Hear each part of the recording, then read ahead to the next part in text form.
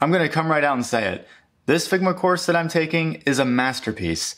Um, I'm taking the Figma Masterclass from Mizko, who is a UX design YouTuber, if you don't already know.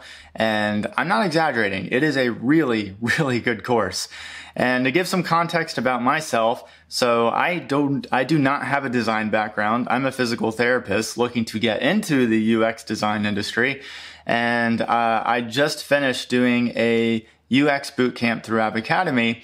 And while they go through the basics on how to use Figma, it's not very in depth. And so by the time I finished the boot camp, the thing that I felt the weakest in was my ability to use Figma efficiently and just my overall UI design skills. Now there's a lot of Figma courses that I could have chose, but the reason I picked Mizko's course, there's really a few reasons. One, I just like his personality. He's a really upbeat, uh, just has a cool personality. Uh, number two, the production value seemed really high. Uh, number three, when looking at the course overview, it seemed to go over pretty much everything that I would want to learn when it came to using Figma efficiently. And number four, the price was reasonable, at least given what I had just spent on a UX bootcamp. So it's 197 US dollars, which to me was fair. Now I'm about 90% of my way through this course, so I can pretty much attest to the quality, which I would classify as phenomenal. And I'm going to break this review into three parts. Mizko is a teacher, the course content, and the community called designership that you become a part of. So as far as Mizko as a teacher, I would say he's very skilled at teaching.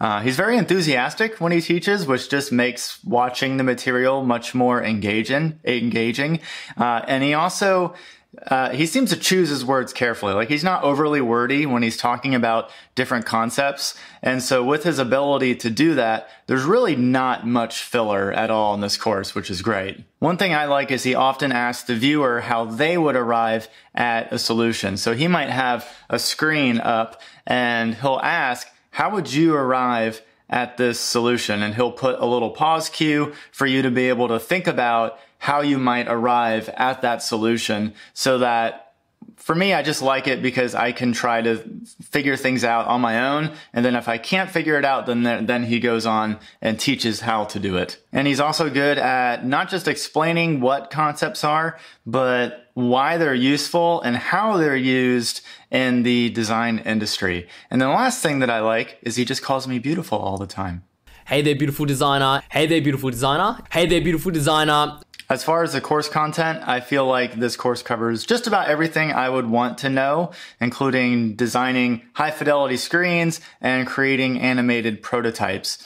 And so the way that this course is set up is that you go through each module. And so each module kind of builds upon the one from the last. So in the in the first module, you're kind of design, uh, figuring out how to make a design system, and then uh, in another module, you're working on you're going deep in auto layout, and you're figuring how to use auto layout to make buttons and input fields and things of that nature. And then you start going into components and things like that. And so you start just building upon all of these layers so that by the time that you're near the end of this course, uh, I have designed a fully responsive web page that is mobile first, so it scales depending on the screen size, and uh, it just it's really cool that we're, we're essentially learning all these smaller steps, but they're equating to how it's being applied in the real world by designing an actual uh, responsive mobile first web page. And the thing I also like is he doesn't just go over how to use Figma but he goes over different efficiency hacks, uh, presentation skills, and just modern UI principles. So he goes over how to set up the elements of a design system, including the typography scale, the color palette, the icon palette, the button layouts, the grid layouts. He goes over how to set up a dark mode color palette that is in line with the uh, Google Material Standard, um, which is great. He goes over a myriad of shortcuts that I use all the time, including um, Alt L on Windows to collapse all the layers in the frame, which is really useful to, for organization. Uh, he goes over how each of the Figma tools correspond with their relevant CSS counterparts like Flexbox, and that just makes it to where designing elements um, it keeps the developer in mind when designing things um, by having that knowledge. He also goes over how to present mockups to designers and how to present them in an engaging and efficient way, as well as how to talk with developers about your design and how to write effective notes to the developers so that they know how to implement um, the designs that you share with them. The last aspect of this course is the community. So when you enroll in this course, you become a member of the designership community. And so in this community, you can connect with other students and you can ask questions. Now, a lot of times I find communities like this to be cool, but nothing extraordinary. And I would consider this to pretty much fit that same realm. The nice thing is that Mizko does seem to answer questions that people post, which is nice. Although I asked a question a few days ago that I still haven't gotten a response from, but you know, that's okay. I'm sure he's a busy guy. But yeah, other than asking questions and getting announce occasional announcements from Mizko, there's not a whole lot going on in the community, at least that I've experienced. Now, not everything is perfect about this course, and there are a few dislikes that I have, uh, but none of them are super major. So, like for example, uh, Mizko will sometimes say in his videos that there is a download link in the description below the video, but when I scroll past the video, there's no download link. And so none of the missing download links are anything that are absolutely essential, but one of them was like a free icon pack that had a ton of icons that you could use.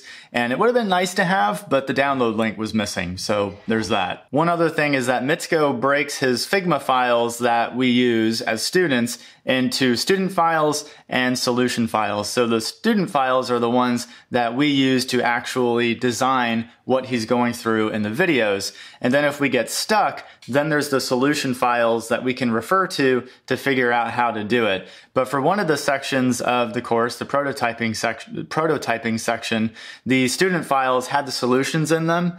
So I couldn't really follow along totally with Mizko because the solutions were already there. One other very minor con, I mean, I'm being super nitpicky here, is that Mizko's audio sometimes is not the best. He uses a good mic, but I think he turned the mic gain up too high, so occasionally his voice just clips throughout the course of the entire video. Uh, that probably will not even bother a lot of people. I just happen to be an audio nerd and music producer on the side, so uh, I just have a little bit more of a sensitive ear to those kinds of things. It's not, it doesn't necessarily detract from the experience in any any great way. Uh, it's just not the most crispy audio ever. The last con I would say is that it's sometimes hard to see the details of Mizko's Figma screen. And it's not because it's blurry or anything, but it's actually because I think it's because his monitor is such a high resolution that it makes all of the buttons and icons look small. And so on my 27 inch monitor, it looks fine. But on my uh, 15 inch laptop, uh, it, it, I do occasionally have to squint a little bit um, because I'm usually working on my 27 inch laptop or 27 inch monitor, and I have his video running on the 15 inch laptop. Um, again, I can still follow along with him, but I do kind of have to squint every now and again to catch um, a certain detail that he's pointing to on his screen. But yeah, overall, I would say that this course is a perfect course to do after a UX bootcamp if you feel like your Figma and UI skills aren't up to par. Uh, I'm not even totally through this course, and I can, without a doubt, say that I feel a hundred times more confident working in Figma than I did before the course. Like to think about the designs that I did in my boot camp prior to, to, taking this, it is the most janky way possible I could have designed that project in my boot camp. So learning what I've learned now in Mizko's master class, um, there's just yeah, there, there's so much that I've learned that I can now create designs much more effectively and efficiently and in a way that is much more coherent with a developer implementing it using CSS. If you want to learn more about this course, there is a link in the description below. It is an affiliate link, so if you want to support this channel, then that is a great way to do so. And if you want to check out my experience with the UX bootcamp that I did, App Academy, check out this video here. Because I go through a week by week run through of everything that I did within the bootcamp. And until next time, I will see you in the next video.